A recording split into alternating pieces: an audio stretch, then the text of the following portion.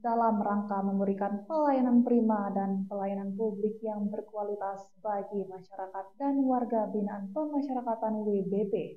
Rutan kelas 1 Medan menggelar sosialisasi budaya pelayanan prima oleh BRI Cabang Iskandar Muda pada Jumat 15 Maret 2024.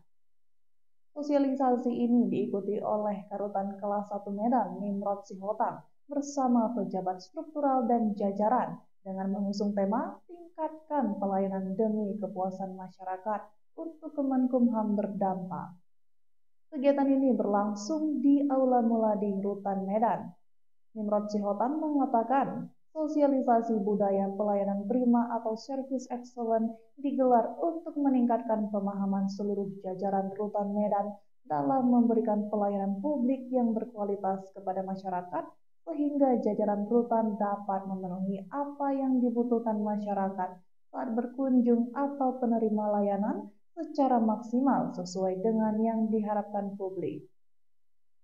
Narasumber dipilih dari Bank BRI Cabang Iskandar Muda karena bank merupakan pemberi layanan yang baik dan telah dipandang oleh masyarakat luas sebagai salah satu pemberi layanan yang terbaik dan berkualitas kepada masyarakat.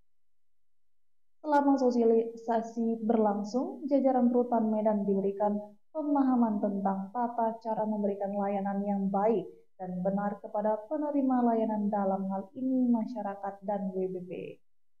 Selain teknis dalam memberikan layanan, petugas juga disarankan untuk menjaga etika, penampilan, dan bahasa tubuh saat memberikan layanan agar penerima layanan merasa nyaman.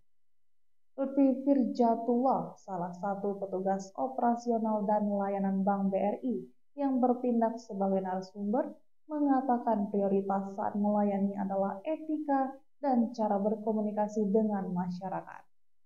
Dari Medan, Gitu Jenis TV melaporkan.